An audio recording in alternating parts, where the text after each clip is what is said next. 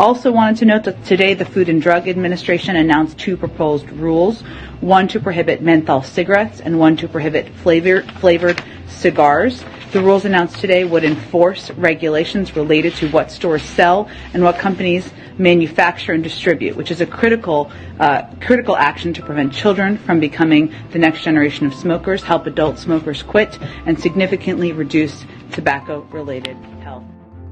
Take back the streets.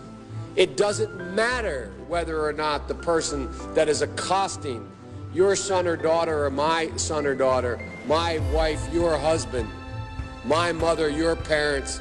It doesn't matter whether or not they were deprived as a youth. It doesn't matter or not whether or not they had no background that enabled them to have to uh, become uh, social, become socialized into the fabric of society. It doesn't matter whether or not they're the victims of society.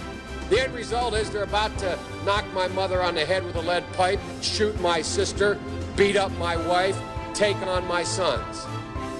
Without any conscience developing, because they literally, I yield myself three more minutes, because they literally have not been socialized. They literally have not had an opportunity. We, a portion of them will become the predators 15 years from now. And Madam President, we have predators on our streets. Joe Biden, when the speech he gave, I mean, I was really offended. I heard it right outside the state capitol building in Dover, which mm-hmm. was a rundown, ransacked old house, 250 years old.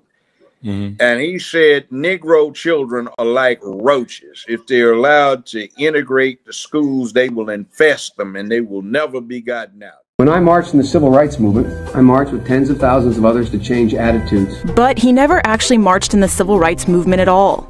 They are often the kinds of kids that are called super predators. No conscience, no empathy. We can talk about why they ended up that way, but first we have to bring them to heel. You called out President Clinton for defending Secretary Clinton's use of the term super predator back in the 90s when she supported the crime bill.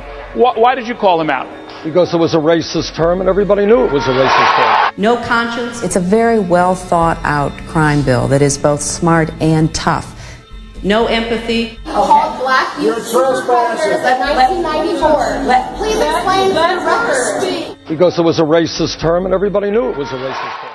I know it's hard for you all to believe that the man that they show in the media is different. I'm here to tell you this is a different man.